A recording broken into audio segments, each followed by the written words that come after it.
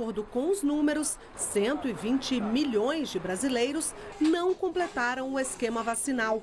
O foco são as pessoas com 40 anos ou mais e os brasileiros a partir de 18 anos que iniciaram o esquema vacinal com a dose única da Janssen. O Ministério da Saúde está convocando para que toda a população brasileira que está apta a tomar a sua D2 ou o seu primeiro reforço ou o seu segundo reforço, né, ele possa ir ao posto de saúde, ao posto de vacinação e buscar a sua vacina para termos uma população cada vez mais protegida.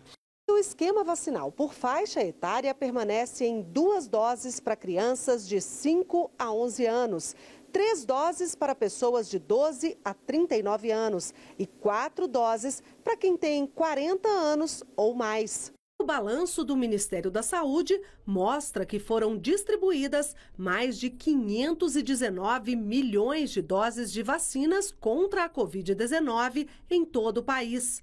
Com exceção do grupo de 5 a 11 anos de idade, todas as faixas etárias estão com uma cobertura vacinal com a primeira dose superior a 90%. Em relação à dose de reforço, nós encaminhamos 10 milhões de vacinas temos vacinas para todos que, para todos que assim quiserem. Nós temos segurança para todos os brasileiros que quiserem ir na ponta buscar as suas vacinas, terão vacinas disponíveis.